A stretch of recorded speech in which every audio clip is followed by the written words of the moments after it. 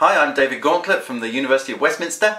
I do work with the LEGO Foundation as well. They've asked us to make a one minute video, so I have to be really quick, uh, for the IDC conference, Interaction Design and Children Conference 2014, happening this month. The question that we've got to consider is, how can we design digital tools for children to be creative learners? Uh, well about this, um, we design, who designs? I think it should be a collaboration between users and skilled designers. Digital tools, yeah okay, but it's good to have a continuum between the online and the offline. Children, yeah okay, children are a particular kind of audience, but uh, I often think it's just good to think about users of tools. We're just thinking about tools that are good for people. Tools that are good for children are often good for everybody else. And for children to be creative learners, well, Children are already creative learners, that's what we know.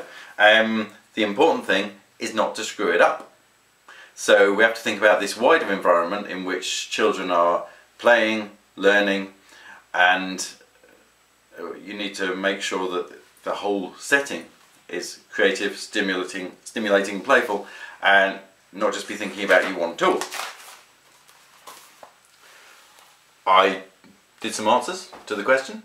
Uh, I think it needs to be about making things together and storytelling, where storytelling means the opportunity to share stories, experiences, feelings and ideas.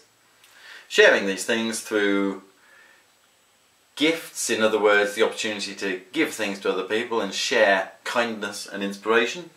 Theatre, a kind of sense of performance and playfulness in the way that things are shared and exchanged. And recognition for people who've done great stuff. Remember the continuum between the physical and the digital.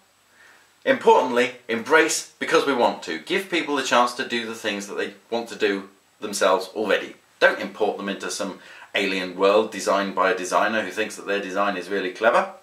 Uh, that's also the point here. Don't put your platform first. The important thing is giving users the chance to do the stuff that they want to do, the chance to make things together, share stories, inspire others. Don't let the platform be so self-satisfied that it gets in the way of that.